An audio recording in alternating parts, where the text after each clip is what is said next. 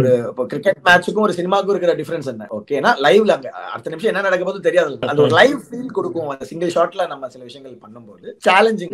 எப்பயுமே அது ஏன்னா ஒருத்தன் தப்பு பண்ணாலும் திருப்பி ஃபர்ஸ்ட்ல இருந்து ஷாட் எடுக்கணும். யாராவது ஒருத்தங்க. சோ எல்லாருமே everybody has to focus so much to get that shot right அந்த கான்சென்ட்ரேஷன் வந்து ரொம்ப இம்பார்ட்டன்ட் சோ அது ஒரு ஸ்ட்ரெயின் ஒரு டேரக்டருக்கோ ஒரு ஃபைட் மாஸ்டர்ஸ்க்கோ நமக்கு அது பிடிக்கும். அஸ் டிஓபிக்கு வந்து நம்ம அதை ஏதாவது அதை இன்ட்ரெஸ்டா பண்றதை பண்ணிட்டு இருக்கோம். பட் அவங்கலாம் வந்து அதை புரிஞ்சுக்கிட்டு அதுக்கு ஒரு டைமை ஸ்பெண்ட் பண்ணி அதுக்கு ஒரு ஒன் டே ஃபுல்லா ரிஹர்சல் பண்ணி எல்லாருக்கும் அதை கத்து கொடுத்து மெனக்கெட்டதல் தான். ஏன்னா அந்த ஒரு டேரக்டருக்கு வந்து ஒரு ஒரு எலிமெண்ட்ஸை மாத்தணும்னு அவர் டிசைட் பண்ணாருன்னா இதெல்லாமே வந்து அதெல்லாம் தான் ஸ்கிரீனுக்குள்ள போகும். அந்த எடிட்ல எங்கேயும் மிஸ் ஆகாம அது ஃபைனல் அவுட்புட்ல வரதுக்கான சான்சஸ் இருக்கு. அவங்க அதை கதையா கொண்டு வர்றது தான் இம்பார்ட்டன்ட் ஸோ இந்த ஷார்ட் கதையா கொண்டு வந்ததுனால இன்னைக்கு அந்த ஷார்ட்டை பத்தி எல்லாருமே பேசுறோம். ஸோ எப்பயுமே கதைக்குள்ள பண்ணும்போது இதெல்லாம் ஒர்க் ஆகும்ன்றது தான் நம்பிக்கை.